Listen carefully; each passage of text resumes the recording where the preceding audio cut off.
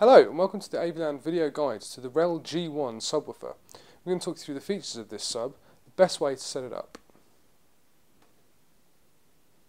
The G1 is the first in REL's new Gibraltar series of subwoofers.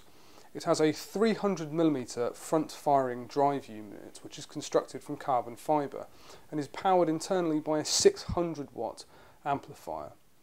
It utilises a curved cabinet with very rigid, hardwood, layered internal bracing. And these are units are actually daisy chainable in case you're using uh, an amplifier without multiple subwoofers and you did want to include more than one G1 in your system. There's actually an optional stacking kit available so you can stack these units on top of one another though this isn't advisable because if you were going to be using more than one uh, I'd suggest putting them in sort of opposite sides of the room to give you a more much more even sound. It's a very high gloss black cabinet, which is a very luxurious feel to it.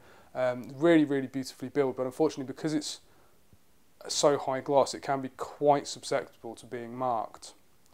It weighs 49 kilos and is 660 millimeters deep, so it's not an especially small unit, and it is quite weighty.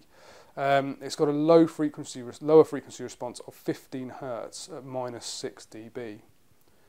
Uh, moving into the rear panel here, you can see the, uh, the large heatsink at the back for the uh, amplification board and then the connections underneath it.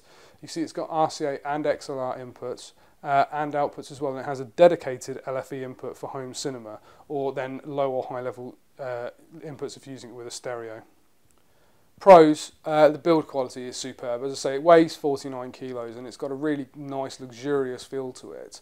And the actual response from it is completely superb. So it's got this really speedy, uh, deep kind of bass, um, which is good. It's not too boomy, which is what a lot of subwoofers would do.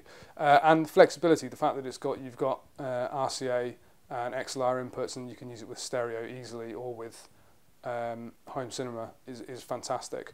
The only real con I'd say for this is, as I mentioned earlier, it has got a very high gloss cabinet which can be easily marked even when cleaning it. Um, is the only real issue, but I wouldn't let that uh, be a down point really against the superb bass performance from this model. Okay, thanks for watching.